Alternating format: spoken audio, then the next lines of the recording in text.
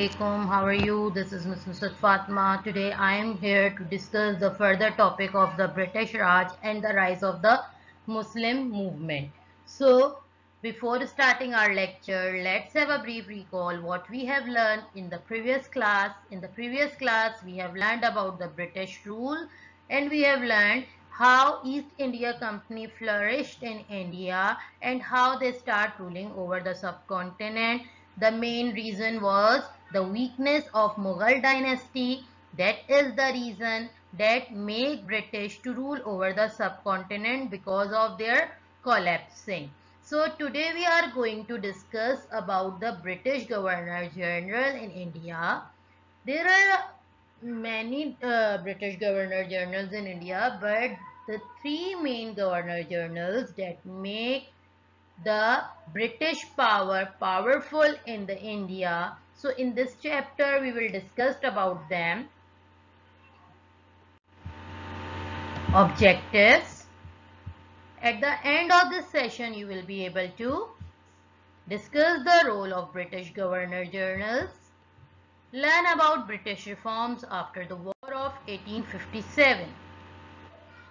Here is the timeline. You can see British Governor General in India.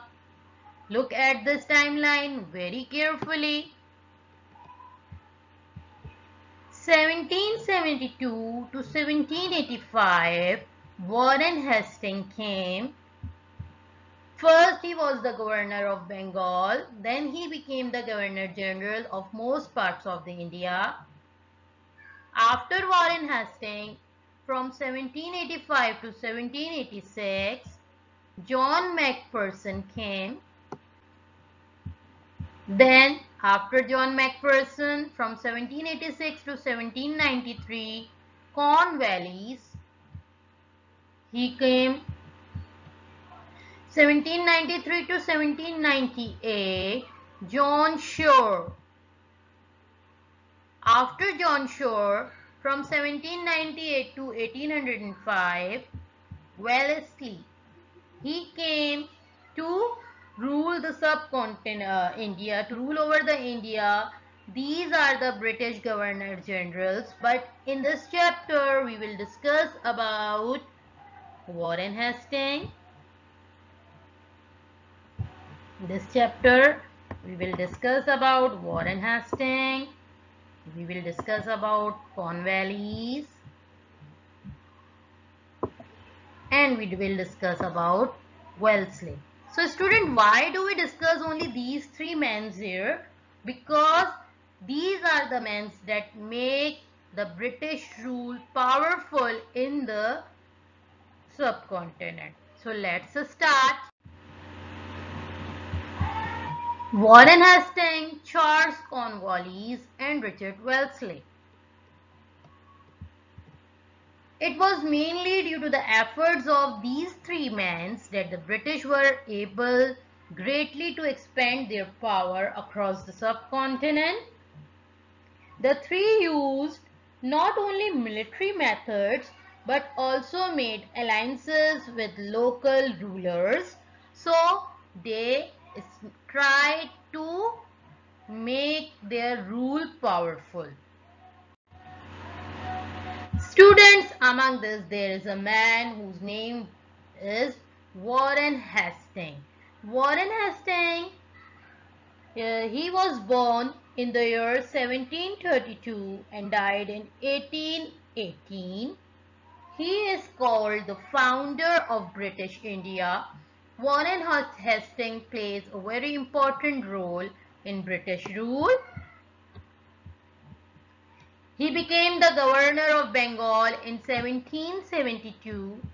He is called the father of British rule, British India. Why he is called the father of British India? Because he make or he introduced British system in India. He introduced many reforms, for example, an English-style legal system, set up an efficient tax collection system, established Supreme Court of Judicature at Fort William, After Warren Hastings, there is another name whose name was Lord Charles Cornwallis. Lord Charles Cornwallis, he was a Governor General from 1786 to 1793. He became the Governor of Bengal in 1786. His Cornwallis Code recognized EIC means East India Company. He stopped corruption. He established the tradition of law abiding. He introduced civil service in India. He introduced sunset law. So the students Cornwallis Code, court recognized the East India Company so that so that what is the benefit of that code? It employees were paid much higher wages.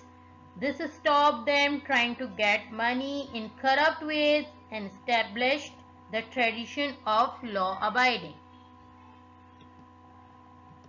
After Lord Charles, there is another person whose name Lord Richard Wellesley. He ruled and he became the Governor General from 1797 to 1805. He became the Governor General in 1797. He was a wealthy aristocrat who loved grandeurs. Wellesley built Government House in Calcutta, at that time the subcontinent's finest building. That Government House was the finest building of India at that time. He introduced subsidiary alliances. He built Fort William College at Calcutta. That's enough.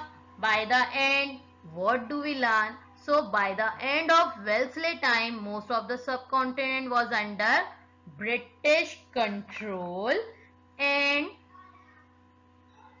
so in this way there are different viceroys and there were different governor generals came in the subcontinent and they tried to rule over the subcontinent. This is that's enough for today. Take care. Allah hafiz